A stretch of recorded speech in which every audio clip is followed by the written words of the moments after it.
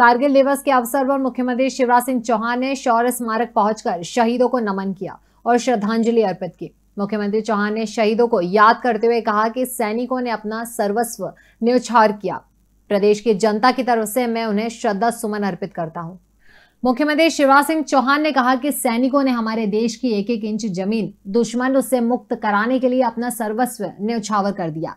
हमें उन पर गर्व है। हमारी सेना ने यह दिखा दिया है कि भारत माता की तरफ़ जो आँख उठाकर देखेगा, उसे छोड़ा नहीं जाएगा। मुख्यमंत्री चौहान ने कहा कि आज शक्तिशाली भारत का निर्माण हुआ है, जिसमें हमारे जवानों का महत्वपूर्ण योगदान है। हम सदैव आपके ऋणी रहेंगे। न सर्वस्व न्यौछावर करने वाले, शहीदों को प्रदेश की नौ करोड़ जनता की ओर से श्रद्धा के सुमन अर्पित करता हूँ।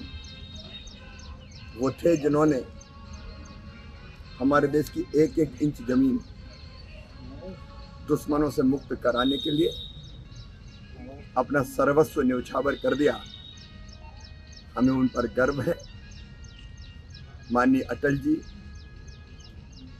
भारत के उस समय प्रधानमंत्री थे। हमारी सेनाओं ने ये दिखा दिया कि भारत माता की तरफ़ अगर कोई आँख उठाकर देखेगा तो वो छोड़ा नहीं जाएगा।